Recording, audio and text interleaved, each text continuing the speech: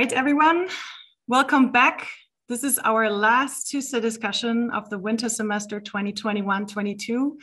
What a semester again.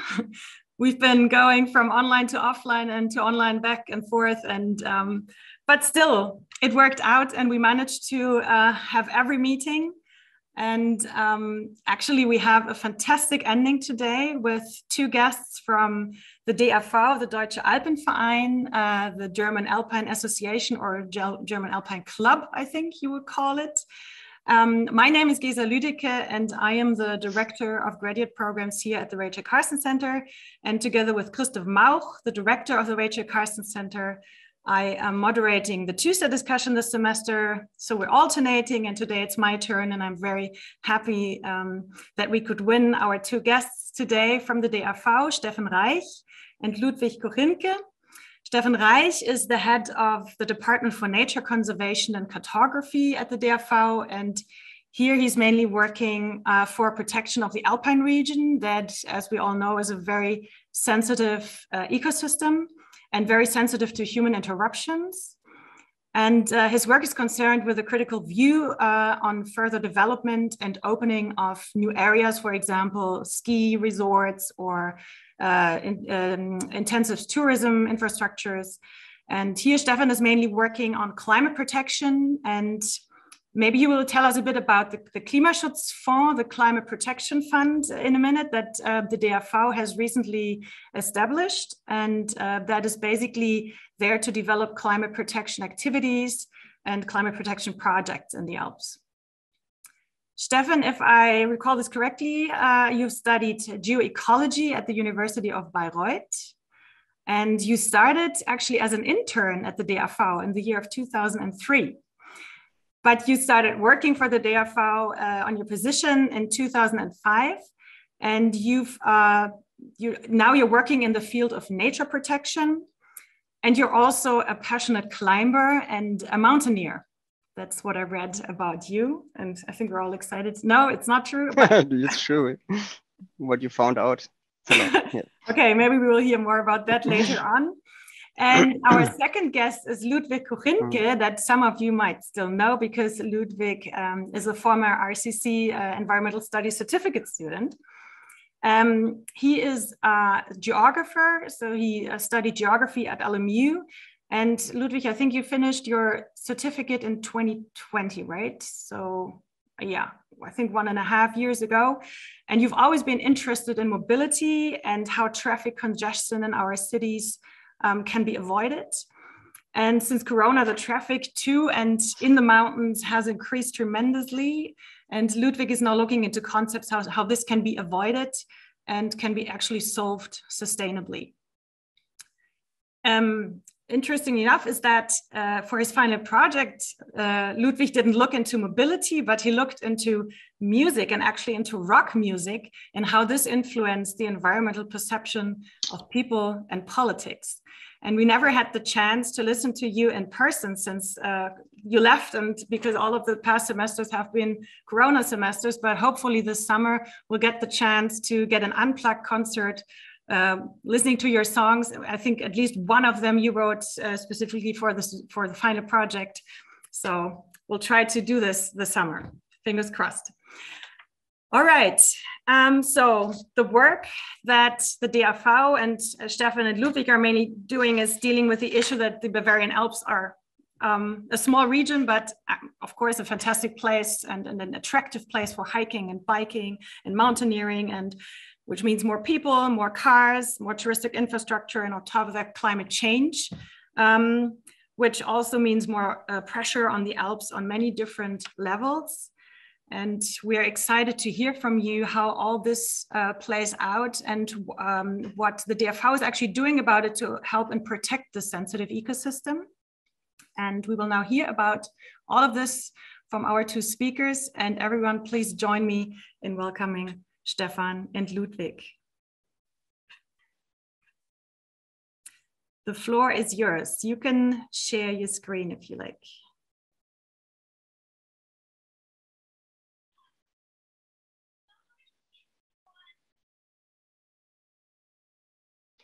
Just a moment. Um,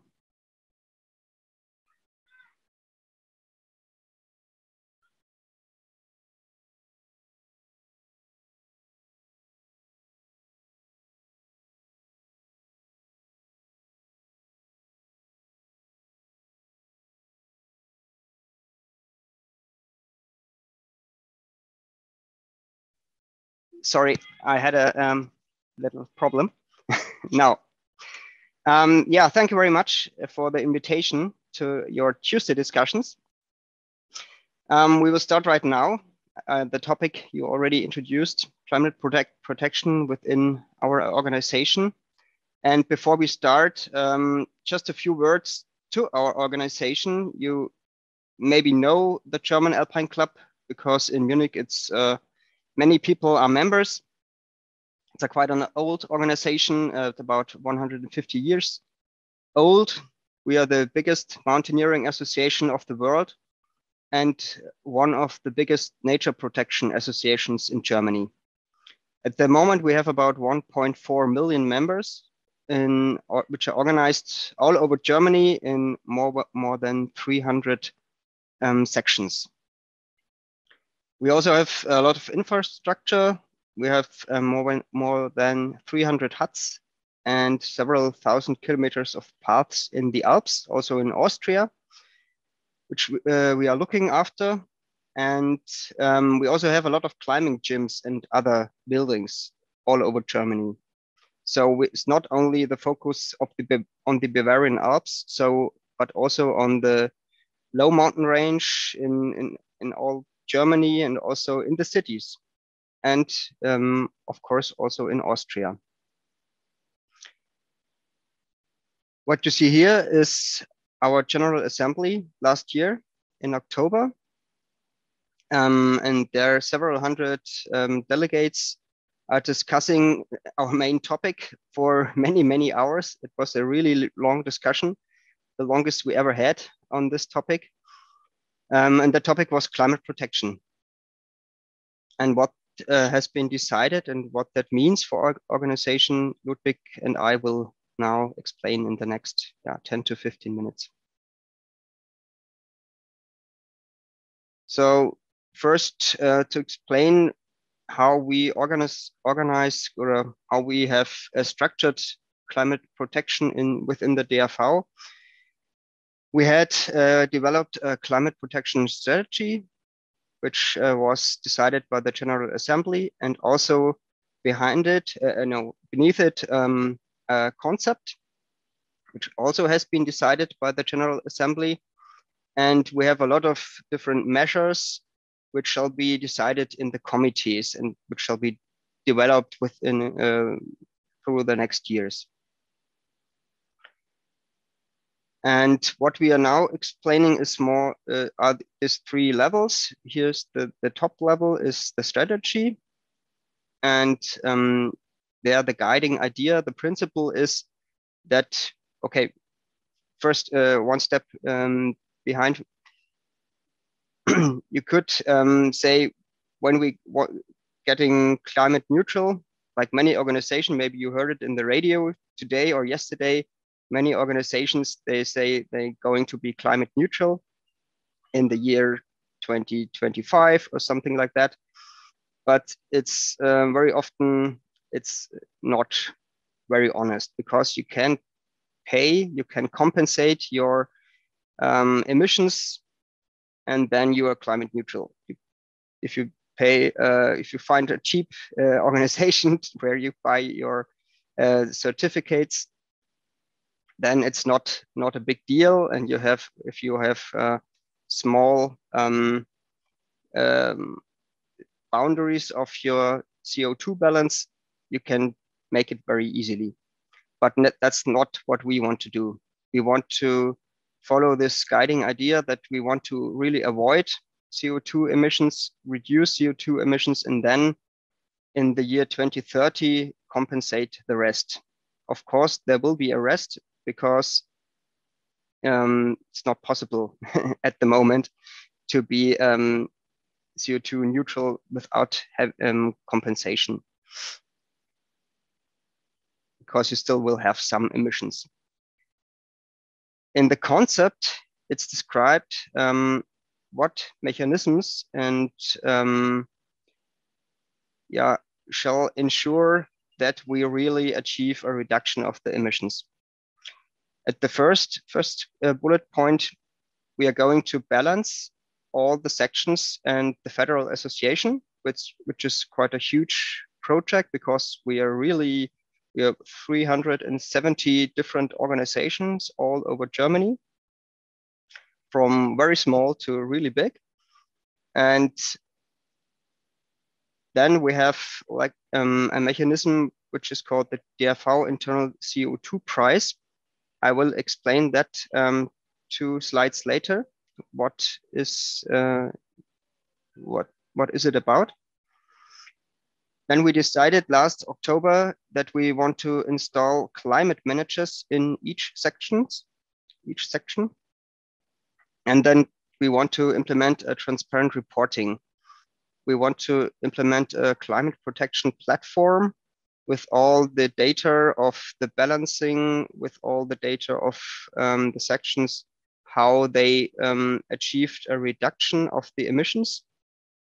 And of course, we have to um, report every year to the General Assembly. And then you already mentioned, mentioned it, Gesa, um, we have a climate fund. And since the last year, every member of the German Alpine Club spends one euro into this climate fund. If you are a member, you don't know that because your organization, your section has to spend that money to the Federal Association and we are managing this climate fund and we are funding um, superior measures with it, which um, help all the sections to get uh, to achieve reductions and pilot projects, which can be in the sections or in the federal association. I want to mention also two commitments we have um, decided also within this protection, climate protection concept it's um, the first that we don't want to make um, short distance flights anymore. And short dis distance flights are this, um, defined um, less than 1,000 kilometers. And we also, that's mm, maybe easy to um, have uh, green electricity in all our facilities, which we already have in many, but not in all. So these are um, the mechanisms which are above, um, not the, the, many small measures, which uh, Ludwig will more talk about. But first, uh, one more, um, a few more words to the CO2 balancing. We had there a pilot phase already in 2021 last year with 12 sections where we tried to find out what are um, the right system boundaries for us because to get CO2 neutral, that's a very, very important thing to, um, to decide that. Many organizations, they choose very narrow system boundaries and all the emissions um, outside the boundaries, they don't count to the organization. That's not our approach. We have a more ambitious approach and therefore we have also a bigger um, CO2 footprint, of course. And this year we are trying to support all the sections in Germany to um, make to balance themselves with uh, we are developing an online tool and also providing guidelines for the CO2 balancing. Now uh, to to the thing I'm a bit proud of that we achieved it to implement it in the German Alpine Club because it was not so clear that the General Assembly will decide it. Um, we, I think we are one of the first organiza organizations um, imp implementing a CO2 price. Um, you know the CO2 price of the um, state, maybe it's um, at the moment 25 euros per ton CO2. And The CO2 is always the equivalence and we choose now a CO2 price of 90 euro, which is much higher. And this money is, shall not go to the state. It shall remain within the section, within the organization, and shall there be um, used for reduction measures. So, so um, the idea is that we have every year a lower budget, CO2 budget, and so, and the climate budget helps helps us helps us to reduce these emissions step by step. We also have a goal.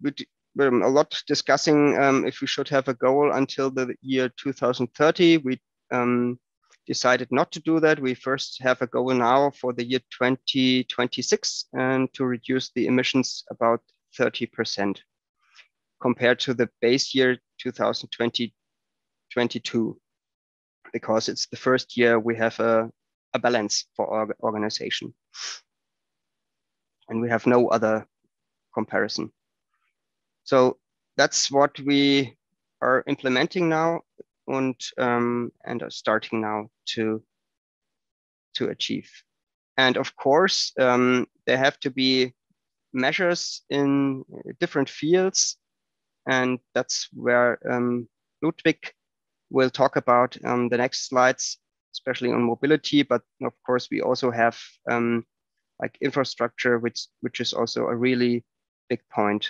within our organization. Ludwig. Yeah, I will continue with the measures now. Um, the infrastructure, um, that's depending on certain um, regional levels. Of course, it's, um, it's connected to our huts, but also um, the offices and other buildings of the sections. And it's about implementing sustainable, energy efficient and climate friendly construction and also uh, the operation.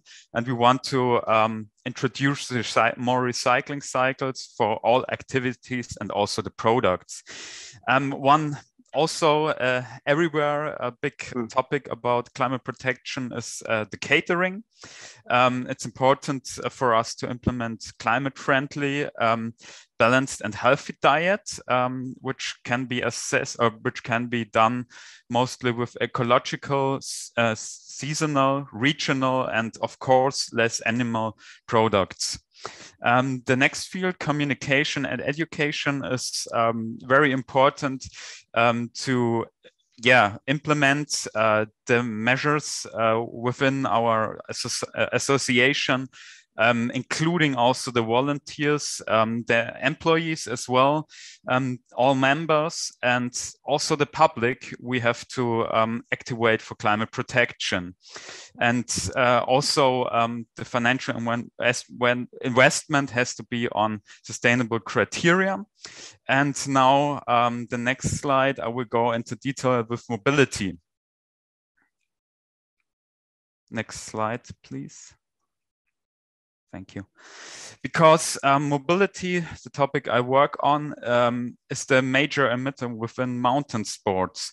Um, altogether, 60 or more than 60% of the uh, emissions are linked to mobility to and on the side um, of the activity.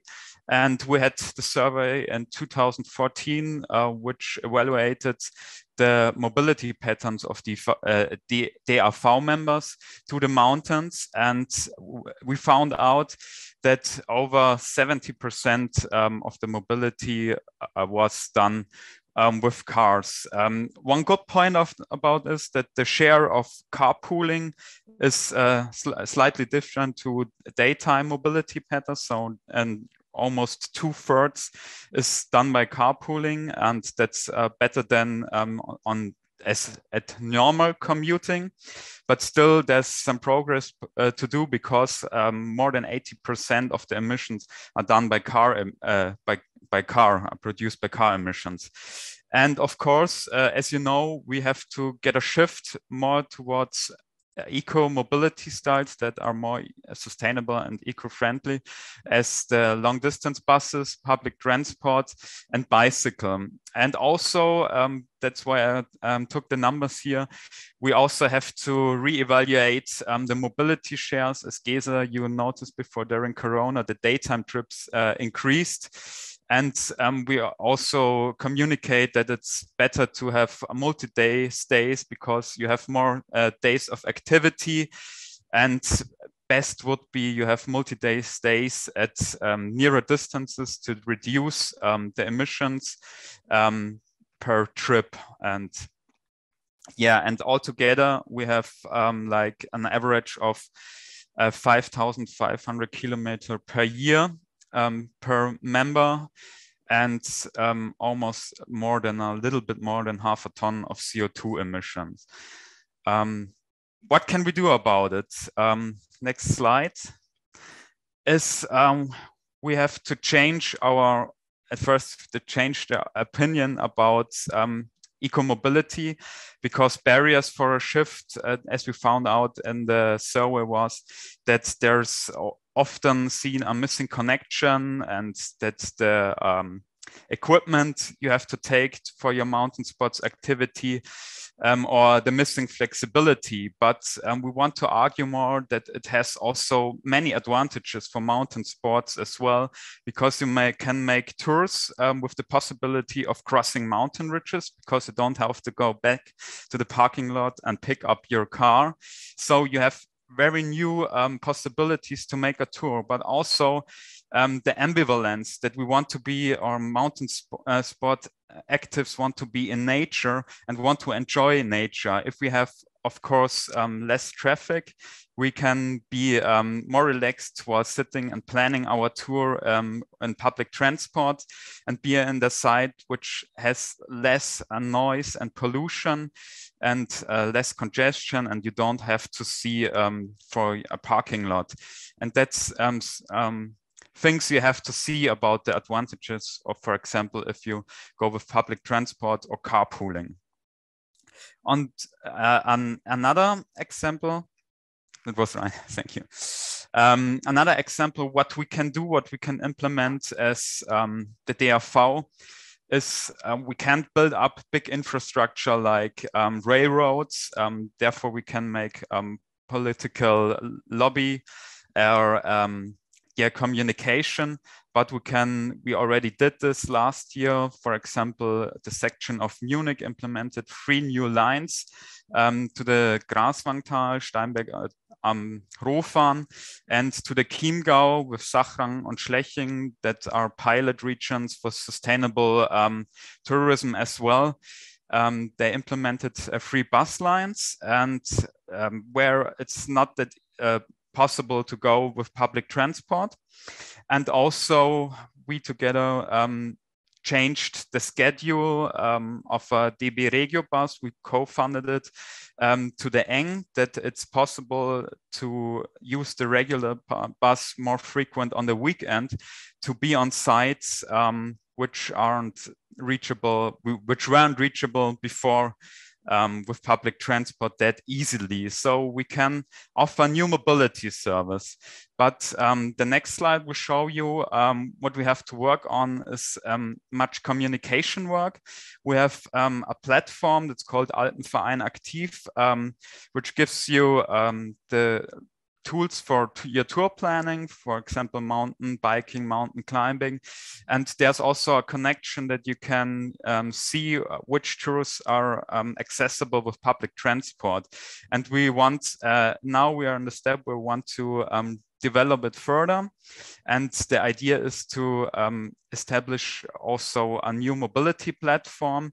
So to use digitalization to make the barriers low, because now at the moment you have to um, use many um, mobility apps or um, the tour planning app, and we wanted to make it more easy accessible to have one uh, everything in one platform. For example, the tour planning and the your mobility planning, or also carpooling, which you can already um, do in Alpenverein Aktiv. You can create your own tour to share your rides, for example, as well. And we want to develop it continuously further on. And we are also a role model. In the uh, middle picture, you see our new um, headquarter office. It's uh, in the north of Munich in the Parkstadt Schwabing. Um, it's a sustainable um, building because, um, or it has sustainable criteria because it's built on an old industrial building and the new facade is built outside mostly on wood and also the interior, as you can see, is much of wood and we have also high energy standards but also the mobility there. Um, we have to reduce um, the parking lots in the garage and establish like parking possibilities for your bicycles. And we have to continuously develop this further on.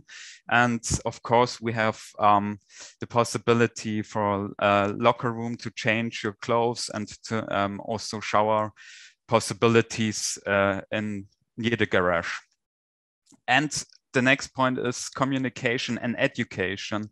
Um, we're working on guidelines together with the sections and with an expert group on our um, touring program as well that we implement uh, touring programs that are more done with um, eco-mobility services or some sections are already working on um, buses for um, um, tours they make together and also for the occasional program.